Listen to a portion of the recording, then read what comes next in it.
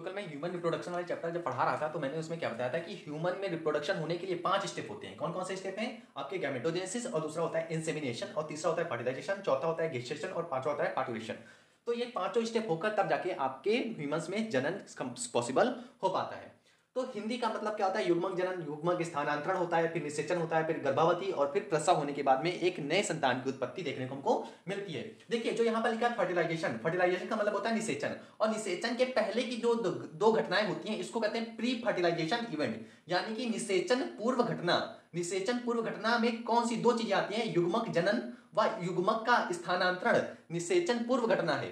वही निषेचन का मतलब क्या होता है कि नर युग्मक व मादा युग्मक के मिलने को ही क्या कहते थे? निषेचन कहते थे। तो ड्यूरिंग इंटरकोर्स जब मेल और फीमेल आपस में इंटरकोर्स करते हैं, उस समय किसकी घटना होती है? निषेचन की घटना होती है। और निषेचन की घटना के बाद में दो चीज़ें हमको देखने को मिलती है। एक होती है गेस्टेशन यानी कि गर्भावधि, और फिर होती है प्रसव। तो ये होते हैं आपके दोनों निषेचन पश्चिम घटना यानी कि निषेचन के बाद की घटना है तो निषेचन पूर्व की दो घटनाएँ होती हैं, युग्मक, जनन व युग्मक स्थानांतरण। निषेचन पूर्व घटनाएँ हैं। वही निषेचन का मतलब होता है नर युग्मक व मादा युग्मक के मिलने को क्या कहते हैं? निषेचन कहते हैं। और निषेचन पश्च घटनाओं में दो चीज़ें आती हैं गर्भावधि व प्रसव। इसे कहते हैं post fertilisation event okay okay, इतना आप समझिए। अब देखिए मैंने कहा था सबसे इंपॉर्टेंट क्या है? गैमिटोजेनेसिस यानी कि युग्मक जनन। अब युग्मक जनन दो तरीके से होता है। मेल में कहते हैं इसको स्पर्मेटोजेनेसिस और फीमेल में कहते हैं इसे ऊजेनेसिस अब मेल में कहते हैं स्पर्मेटोजेनेसिस या फिर हिंदी में कहते हैं इसको शुक्राणु जनन, और फीमेल में इसे कहते हैं ओजेनेसिस यानी कि अंडाणु जनन। इतना आप समझ गए। अब देखिए, सबसे पहले लिखा है, सबसे पहले हम क्या समझेंगे? स्पर्मेटोजेनेसिस को समझेंगे। ज़ाहिर सी बात है, शुक्राणु जनन हो रहा है तो कहाँ हो रहा होगा? हमको पता है कि नर जनन अंग में हो रहा है। नर का जो जनन अंग होता है, मेल रिप्रोडक्टिव सिस्टम वहाँ पर ही तो शुक्राणुओं का जन्म होगा। ज़ाहिर सी बात है तो स्पर्मेटोजेनेसिस के अंतर हम क्या पढ़ते हैं? मेल रिप्रोडक्टिव सिस्टम पढ़ते हैं। और शुक्राणु जनन का मतलब क्या होता है कि नर युग्मक के निर्माण को शुक्राणु जनन कहते हैं। इतना आपको याद रखना है कि नर युग्मक के निर्माण को क्या कहते हैं? शुक्राणु जनन कहते हैं। जो नर जनन तंत्र होता है, उसको दो भागों में बांटा जाता है। तो प्राइमरी सेक्स ऑर्गन क्या होते हैं? देखिए मेल रिप्रोडक्टिव सिस्टम को दो भागों में बांटा है। पहला है प्राइमरी सेक्स ऑर्गन यानी कि प्राथमिक लैंगिक अंग। कौन से होते हैं? नर की बात हो रही है, याद रखना। नर में प्राइमरी सेक्स ऑर्गन कौन होता है? तो टेस्टिस होता है। अब प्राइमरी सेक्स ऑर्गन वह ऑर्गन होगा जहाँ पर किसका? आपके स्पम यानी कि शुक्राणुओं का। शुक्राणुओं का क्या होगा? जन्म होगा। तो प्राइमरी सेक्स ऑर्गन यानी कि प्राथमिक लैंगिक अंग क्या होगा? नर में, उसको कहते हैं टेस्टिस यानी कि वृषण। दूसरा मेल रिप्रोडक्टिव सिस्टम का दूसरा भाग होता है एसेसरीज और सेकेंडरी सेक्स ऑर्गन यानी कि सहायक व द्वितीय लैंगिक अंग। तो सहायक व द्वितीयक लैंगिक अंग जो होते हैं, इनको भी दो भागों में बांटा गया है। इसको देखो, अच्छे से समझो इस चीज़ को। अगर समझ में नहीं आया ना तो फिर से वीडियो देखना। मेल रिप्रोडक्टिव सिस्टम, यानी कि नर जनन तंत्र को दो भागों में बांटा गया है। प्राइमरी सेक्स ऑर्गन, हिंदी में कहेंगे प्राथमिक लैंगिक अंग, और प्राथमिक लैंगिक अंग नर में क्या होगा? टेस्टिस होगा, यानी कि वृषण होगा। दूसरा भाग क्या होगा? एसेसरीज और सेकेंडरी सेक्स ऑर्गेन यानी कि सहायक व द्वितीयक लैंगिक अंग। समझे कि नहीं? वह सहायक व द्वितीयक लैंगिक अंग को भी दो भागों में बांटा बांटा गया है।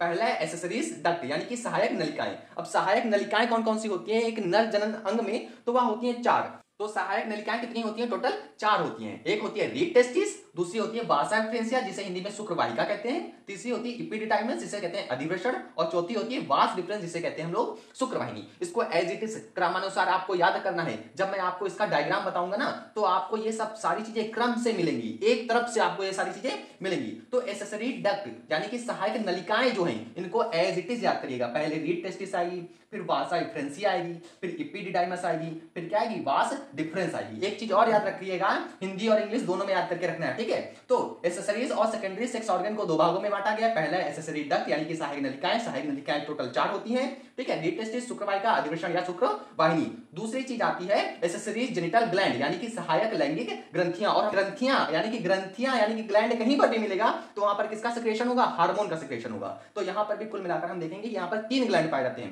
पहला ग्लैंड कौन सा है? सेमिनल विस्कल जिसे हम लोग हिंदी में कहते हैं शुक्राशय, और दूसरा ग्लैंड क्या है? प्रोस्टेट ग्लैंड है। कौन सा ग्लैंड है? प्रोस्टेट ग्लैंड है। और तीसरा ग्लैंड कौन सा है आपका? बल्बो यूरेथ्रल ग्लैंड यानी कि इसको क्या कहते हैं हम लोग? काउपर ग्लैंड के नाम से भी जानते हैं। तो यहाँ पर टोटल यहाँ पर कितने ग्लैंड आ गए? आपके तीन ग्लैंड आ गए। और ये कितने भी ग्लैंड है, ये सारे के सारे कुछ ना कुछ क्या क्रिएट करेंगे? सिक्रिएट करेंगे? हार्मोन सिक्रिएट करेंगे। तो ग्लैंड यानी कि सहायक लैंगिक ग्रंथियाँ जो होती हैं, तीनों ये क्या है? ये तीनों सहायक लैंगिक ग्रंथियाँ हैं प्रोस्टेट सेमिनल वेसिकल बल्बो या क्या है? सहायक लैंगिक ग्रंथियाँ। इन तीनों का काम बहुत इंपॉर्टेंट है क्वेश्चन आता है यहाँ से। कहता है प्रोस्टेट कहाँ स्थित होता है? तो पहले इसी बात, जब आप यूरिनरी ब्लैडर देखेंगे। अगर मैं कहूँ, ये क्या है? यूरिनरी ब्लैडर है तो यूरिनरी ब्लैडर के ऊपर यहाँ पर क्या स्थित होगा? आपका एक प्रोस्टेट एक ही होता है। प्रोस्टेट ग्लैंड कितना होता है? एक होता है। तो प्रोस्टेट ग्लैंड यहाँ स्थित होता है और प्रोस्टेट ग्लैंड जो होता है, या क्या कहते हैं मिल्की अपीयरेंस यानी कि दुधिया कलर। स्पम को दुधिया कलर कौन प्रोवाइड करता है? तो प्रोस्टेट कई बार स्पम ना देखे, कहेगा सीमन ये क्या लिखा है यहाँ पर? देखो, इसके बारे में भी लास्ट में बताऊँगा। सीमन कहेगा सीमन को, या फिर स्पम शुक्राणु को दुधिया रंग प्रदान करने का काम कौन सा ग्लैंड करता है? तो कौन सा करता है? प्रोस्टेट ग्लैंड करता है। जितनी चीज़ें मैं बता रहा हूँ, हर एक चीज़ को आप लोग ध्यान करके चलिएगा। समझे? दूसरा पॉइंट देखिए क्या कह रहा है कि सेमिनल विस्कल इसको कहते हैं शुक्राशय शुक्राशय कितने होते हैं? एक जोड़ी होते हैं, यानी कि दो होते हैं. शुक्राशय कितने होते हैं? दो होते हैं. प्रोस्टेट कितना था? एक था. शुक्राशय कितने थे? दो थे. एक जोड़ी. और यह स्थित कहाँ होते हैं? यूरिनरी ब्लैडर के पीछे, इसके जस्ट पीछे, इसके जस्ट पीछे एक इधर होता है और इसके जस्ट पीछे एक इधर होता है. समझे कि नहीं? तो सेमिनल विस्कल शुक्राशय कितने होते हैं? दो होते हैं और यूरिनरी ब्लैडर के पीछे साइड में होते हैं। और एक चीज़ याद रखिएगा, कहेगा सीमन को। सीमन कहेगा या फिर कहेगा शुक्राणुओं को। क्षारीय नेचर कौन प्रदान करता है? तो सेमिनल विस्कल। शुक्राशय क्या करता है? क्षारीय नेचर प्रोवाइड करता है। एल्क्राइन नेचर प्रोवाइड करता है। अब यहाँ से यह क्वेश्चन भी आप कह सकते हैं कि जो आपका सीमन है, वो किस नेचर का होता है? एल्कलाइन नेचर का होता है। समझे कि नहीं? अब तीसरा है, तीसरा ग्लैंड कौन सा है? बल्बो यूरेथ्रल या फिर कह दीजिए कॉपर ग्लैंड इसको हिंदी में भी कहते हैं कॉपर ग्रंथियाँ। तो कॉपर ग्रंथियाँ क्या करती हैं? ल्यूब्रिकेशन प्रोवाइड करती हैं। शुक्राणुओं को या फिर कह लीजिए सीमन को। सीमन को क्या प्रोवाइड करती है? चिकनाहट प्रोवाइड करने का काम कौन करती है? बल्बो यूरेथ्रल या फिर कॉपर की ग्रंथियाँ ये काम करती हैं। ये तीनों ग्लैंड आप समझ गए आप देखिए यहाँ पर लिख रखा है मैंने सीमन सीमन का मतलब क्या होता है? स्पम और जेनिटल फ्लूइड यानी कि ये सारी चीज़ें, इन तीनों ग्लैंड से निकली हुई चीज़ें जब इसी स्पम में मिल जाती हैं तो इसे क्या कहते हैं? सीमन और याद करिए, जब मैंने क्या बताया था? गैमिटोजेनेसिस गैमिटोजेनेसिस के बाद में दूसरा प्रोसेस क्या होता है? Insemination insemination और इन सेमिनेशन का मतलब क्या होता है? यही सेमन इन होगा. कहाँ पर जाएगा? फाइलोपियन ट्यूब में. कहा? फाइलोपियन ट्यूब में जाएगा। आपको जब मैं बताऊँगा फीमेल रिप्रोडक्टिव पार्ट तो यही सीमन स्पम यही सीमन कह लो या फिर स्पम कह लो, कहाँ से निकलकर, आप यहाँ से निकलकर फैलोपियन ट्यूब में जाकर मिलेगा जाकर। इस प्रोसेस को यहाँ से निकलकर, यहाँ तक जाने के प्रोसेस को क्या कहते हैं? इंसेमिनेशन कहते हैं। तो इंसेमिनेशन के बारे में हम आपको डिस्कस करेंगे।